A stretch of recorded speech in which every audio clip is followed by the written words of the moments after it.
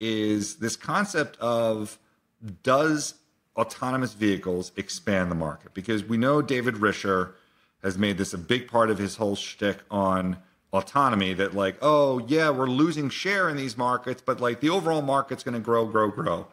And I think the evidence that we've seen from Uber in Austin is yeah, there's some TAM growth, but it's just tourists and it's marginal and it's modest.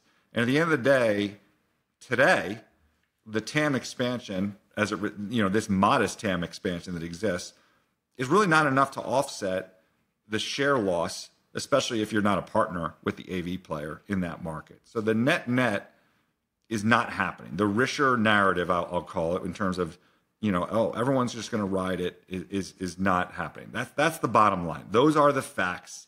That is the data that is being seen.